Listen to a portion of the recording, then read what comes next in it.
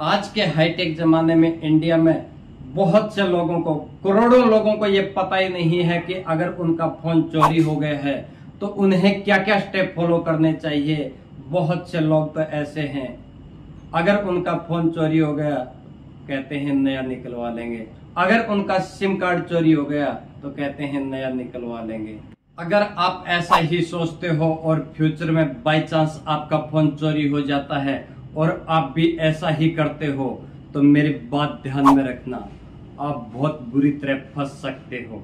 क्या करना चाहिए? जब हमारा फ़ोन चोरी हो जाता है, चलिए मैं आपको स्टेप बाय स्टेप बताता हूँ।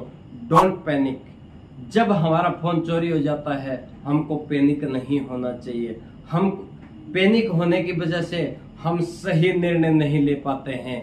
हमको पता होते हुए भी हम वो निर्णय नहीं ले पाते हैं। इसलिए फ़ोन चोरी हो जाने पर पहला काम है पैनिक मत होइए। सबसे पहले आप अपने फ़ोन नंबर पे कॉल करके देखिए, अगर आपके फ़ोन पर रिंग जा रही है, इसका मतलब आपका फ़ोन कहीं छूट गया है या कहीं गिर गया है, आप जहाँ जा गए थे वहाँ जाके देखिए, आपका फ़ोन मिल जाएगा। अगर आपका फ़ोन पे घंटे नहीं जा रही है, आपका फ़ोन स्विच ऑफ़ आ रहा है, इसका मतलब आपका फ़ोन चोरी हो चुका है। उस जगहों पर जाने से अब कोई फ़ायदा नहीं, जहाँ पर आप गए थे। नेक्स्ट स्टेप आपको सबसे पहले आपकी सिम ब्लॉक करवाना है।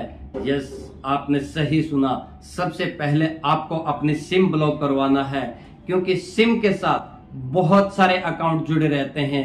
Facebook account Google account Insta account और आपके bank account, debit card, credit card, बहुत सारे कार्ड भी जुड़े रहते हैं। इसलिए सबसे पहले आपको अपनी सिम ब्लॉक करवाना है। मैंने देखा है बहुत सारे लोग मोबाइल चोरी होने के बाद अपनी सिम ही ब्लॉक नहीं करवाते।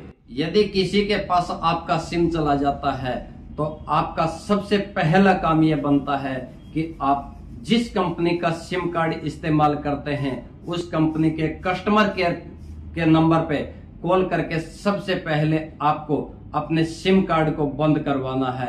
ये बहुत ज़रूरी स्टेप है। अगर आपके पास एंड्रॉइड फ़ोन है तो। आपको फ़ोन की सेटिंग में जाना है। आपको सर्च करना है।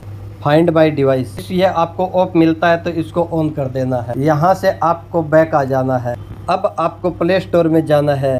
Find my device application download करना है।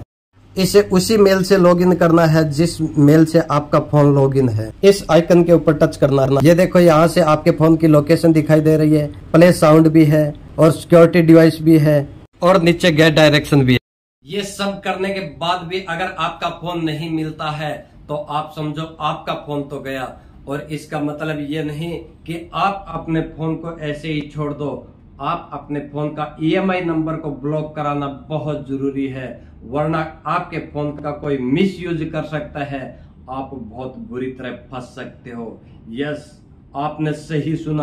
आप बहुत बुरी तरह फंस सकते हो, इसलिए आपको अपने ईएमआई नंबर को ब्लॉक करवाना बहुत ज़रूरी है। अगर दोस्तों, आपका खोया हुआ फ़ोन किसी के भी पास है, आपने अगर आपके फ़ोन के ईएमआई नंबर ब्लॉक करवा दिया है तो वो आपके फ़ोन में किसी भी तरह का सिम यूज़ नहीं कर सकता और आप ये सब ऑनलाइन कर सकते हैं। इसके बाद दोस्तों आपको C I R G O V dot in की वेबसाइट पर जाना है। ये वेबसाइट है डिपार्टमेंट ऑफ़ टेली कम्युनिकेशन की तरफ़ से। यहाँ पर आकर आप अपने फ़ोन का आईएमआई नंबर जो आपका फ़ोन खो गया है उसके आप नंबर बंद करवा सकते हो।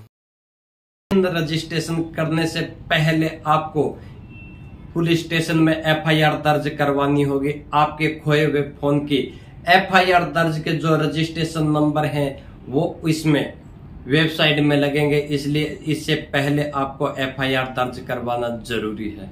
नेक्स्ट स्टेप में आपको C R G O V dot in की वेबसाइट पे जाना है। वहाँ पर आपको स्टोलन स्लेस लॉस मोबाइल पर जाना है। वहाँ पर आपसे जितनी भी इंफॉर्मेशन मांगेगा, नाम हो गया एड्रेस हो गया, दोनों सिम के नंबर हो गए आईएमआई नंबर हो गया एफआईआर नंबर लिखे फ़ाइल अपलोड करके जितनी इंफॉर्मेशन मांगे, सारी इंफॉर्मेशन देख सबमिट कर दो। यहाँ पर आकर अगर आप रजिस्ट्रेशन करते हैं तो आपकी सारी जानकारी डिपार्टमेंट ऑफ़ टेली कम्युनिकेशन के पास पहुँच जाएगी वो आपके फ़ोन के ईएमआई नंबर को बंद कर देंगे तो इससे आप कंप्लीटली सेफ़ हो जाएँगे। आपके फ्यूचर में किसी भी तरह की प्र, कोई प्रॉब्लम नहीं होगी। आपका फ़ोन जिसके भी पास है वो उस फ़ोन का इस्तेमाल नहीं कर पाएगा। तो इससे आपके फ़ोन का मिसयूज होना कंप्लीटली नामुमकिन हो जाएगा। फ्यूचर में अगर आपका फ़ोन आपको मिल भी जाता है तो आप अपने फ़ोन के ईएमआई नंबर को अनब्लॉक कर सकते हैं और उसका स्टेटस भी देख सकते हैं। इस तरह से आप कंप्लीटली शेप हो रहते हैं। अगर आपको मेरा वीडियो नॉलेजेबल लगे इंटरेस्टिंग लगे हेल्पफुल लगे तो मेरे वीडियो को लाइक करना शेयर करना एंड चैनल को सब्सक्राइब करना।